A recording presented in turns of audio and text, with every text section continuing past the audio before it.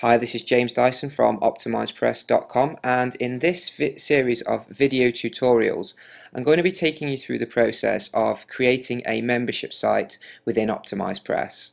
Before I continue with this tutorial I just want to make a quick note to you that OptimizePress itself does not contain any kind of membership security or download security scripts within it.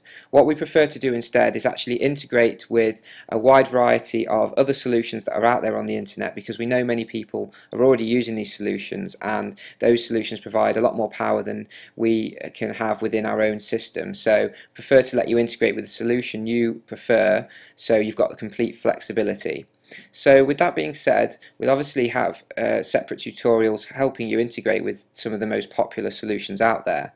So in this first tutorial I'm going to just show you the main membership options and also just show you how your membership can look when it's completed.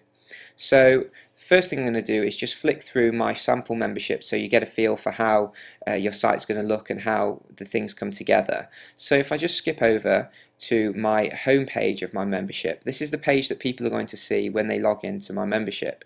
So we have a nav bar along the top here which is going to be customized however you want it. You can put whatever links you want on the sidebar there. We've got a welcome message. We've obviously got our header at the top. Um, this is our main content for our home page and then we have a sidebar here where we've got like a sidebar title, some information and a little icon here. And then we've got the membership navigation. Now the membership navigation within OptimizePress is automatically generated based on how you structure your pages. And we use the WordPress parent and child system for pages to allow you to build this this um, membership sidebar to be um, as intuitive as possible for your membership. So it will basically build itself as long as you arrange your pages properly. So if I show you the module 1 page here, so this is what our module 1 page might look like, and if I just refresh this, you'll see it as it should do now. So you can see here, this is module 1, and we have the sidebar here is updated to show you the items within module 1. We've also got this automatically generated list of items or content within module 1 here, so we can see these are two pieces of content or two videos or trainings that are included within this module. And this is, is all generated automatically um, based on the way you structure your membership.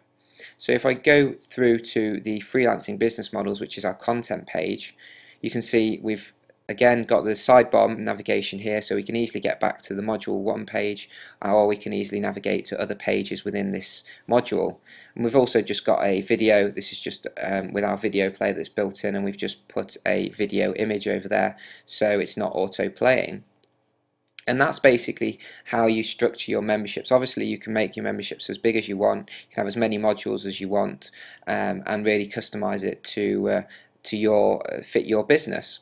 So if I go back over to the membership page settings, I just want to go through these really quickly um, and show you what you what you do to set up the membership page options. So we have our header here where you would upload a header. You also need to upload a background URL image. Now if I just show you this image quickly, basically this is the image that's going to be scrolling across the width of your page. So you can see here it's just a slice of our header and this basically is the full width image that will tile across your page. We also need to set um, the header height and you can also find that out um, either by checking your image in a image editor or if you load it in your browser it will actually tell you the height in the browser. If you want to use a logo you can also upload that here. We then have the login page options.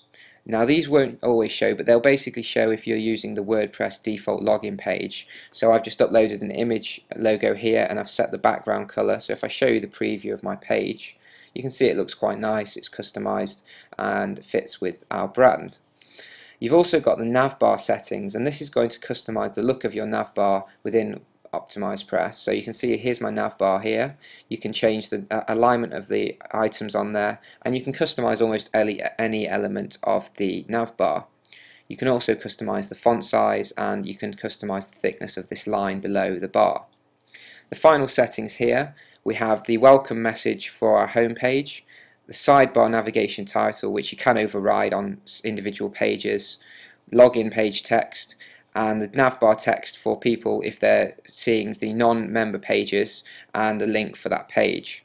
And that's pretty much it for the initial membership settings.